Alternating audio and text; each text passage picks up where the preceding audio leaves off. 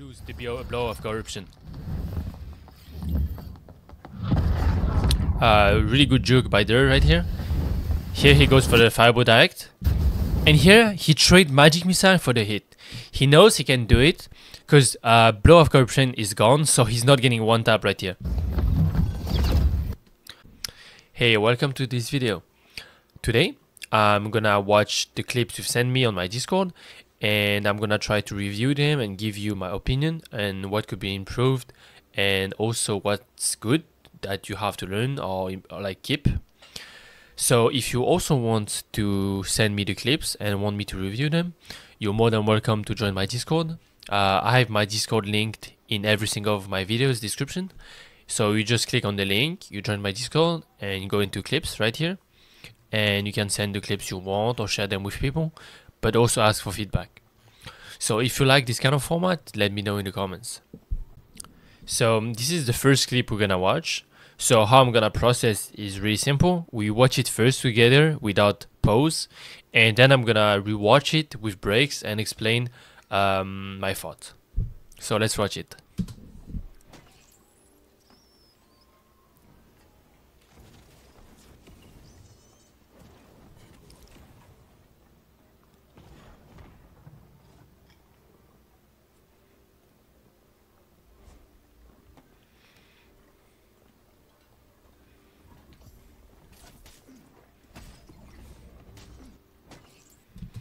Okay, so first of all, um, when you engage into a fight, you need to see what class you're facing. So right now it's a bard, right? And he's playing uh, the Song of Weakness, which basically reduces your armor uh, armor rating.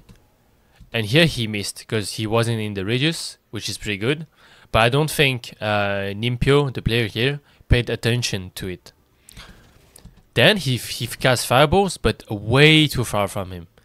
He's tried to predict him by casting here, but instead he should cast at his feet. So, when in that situation, you see him play the song, so you back off a little bit to not get hit by the song. Then you watch what he does. So he's trying to push, and here you need to aim at his feet right here.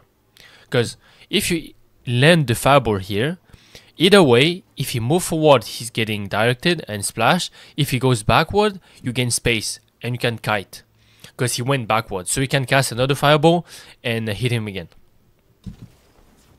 So here he missed. Same rule applies here. His fireball is ready. Uh, the bard is already on the ramp, almost about to jump over here. So what should we do in that situation? So the same as before. Um, you should fireball right here, because what if if he jumps over here, he gets he gets splashed and directed. But if he falls back toward he, this area or this area, then he he's like far from you, so you have time to cast another spell. Here he tried to go for like a direct hit, but he misses and go behind there.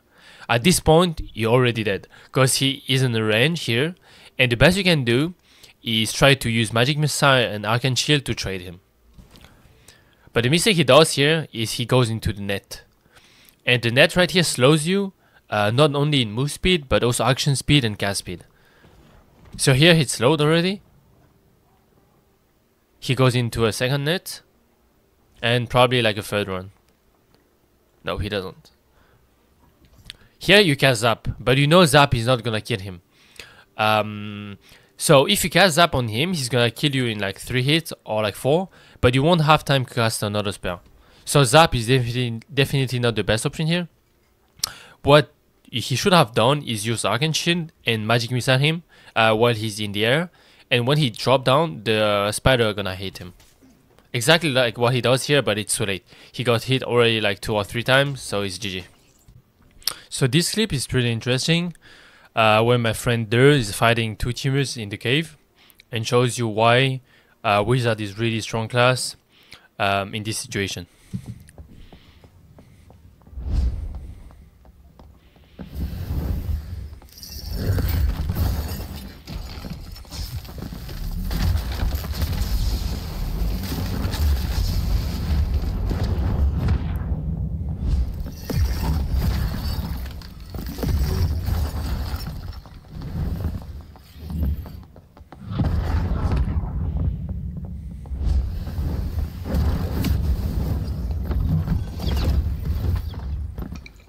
Okay, so um, let's let's watch it back and try to find out what's good because most of it was pretty good.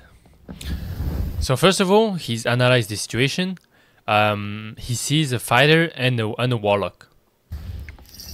He keep his ran and try to poke poke them a little bit with ice ball.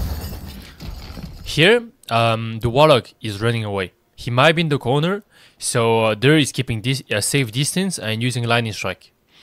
First of all, it's a fighter, so he can't block it, and the um, lightning strike also hit Phantomize Warlock.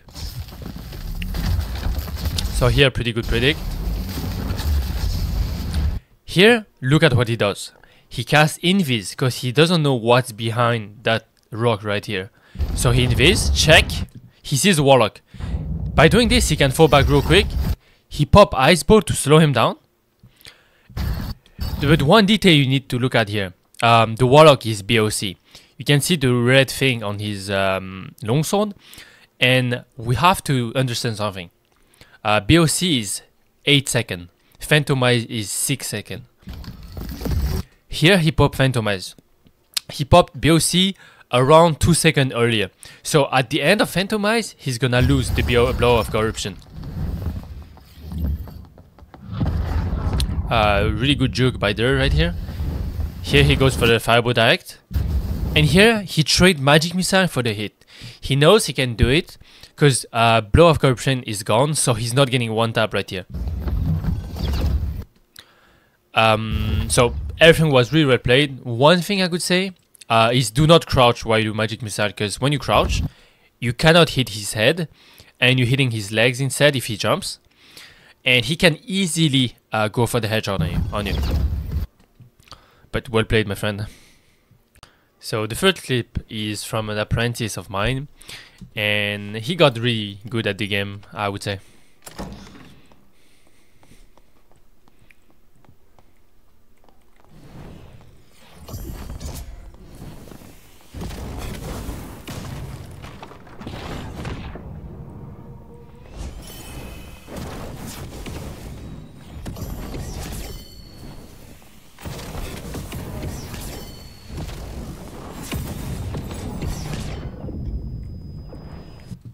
So pretty short clip, but there's many details that are really interesting to look at. So first of all, when he goes here, um, you can see um, the player, and you can you can understand that it's um it's a cleric. You can see that he runs pretty fast, so it's probably a caster cleric. And on top of that, he has a splendid cloak. So here he casts fireballs to break the door, so the cleric doesn't have time um, to buff himself. He goes in. Right here it's Holy Strike. He knows it, so he fall back. Boom. He dodged one he dodged one of them. He goes in, fake, go back again. He go he goes out of sight. Like because of the doorway, uh, the cleric cannot cast Holy Strike on him. So he dodged a second one.